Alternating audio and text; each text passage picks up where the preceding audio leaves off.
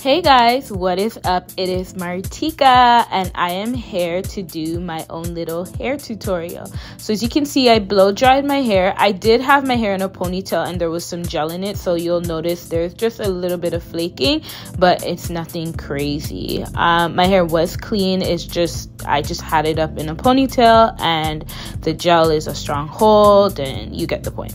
So now what I'm doing is I am taking little sections of my hair in the front. I'm using the touchdown edge control for a firm hold and then I am layering that with the uh, Eco, Eco Edge Booster gel and I believe that's in berry. It smells amazing.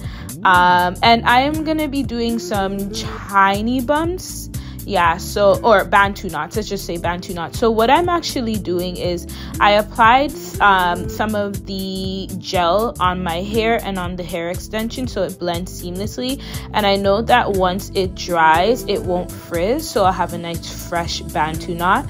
And then i did use a long piece of extension so i decided to do this two strand rope twist and i will add some beads to it later You'll notice I'm cutting the hair in half because it was too long. So I feathered the ends so that I can have a shorter piece on my next sections. Again, I'm going in with the touchdown edge control and then I will eventually layer on the gel. Um, also, before I do any of that, I usually put some oil on my hair first before I add the edge control and the gel. And um, now I'm just going ahead and wrapping around this bantu knot and just making sure it's secure and it stays. I'm doing the same thing for this section here.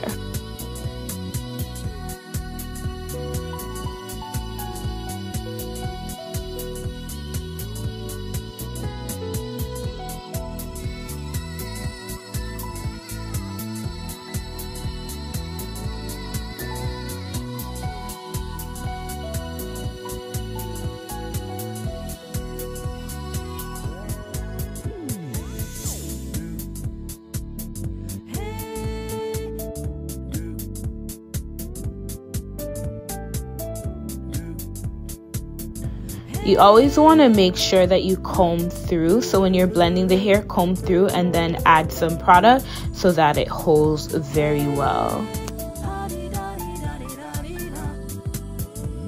So I sectioned my hair in two in the back and I'm going to go ahead and create two big buns and uh, donuts I'm gonna say at the back of my hair. So I'm just putting gathering everything up using that edge control and using that gel to put everything up in two ponytails.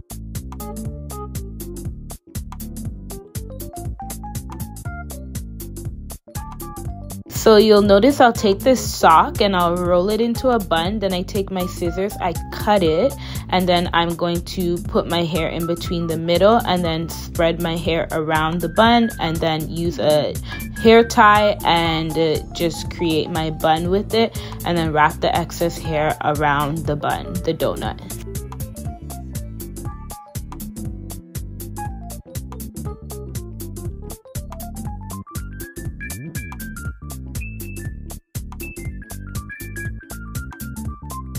Now what I'm doing is I'm adding in some hair accessories. So I am using these iron accessories in gold and I'm putting them at the, I'm attaching them to my bantu knots. It was actually kind of hard for me, but I just opened them and then clamped them on and I used a lot of firm pressure just to make sure they hold still.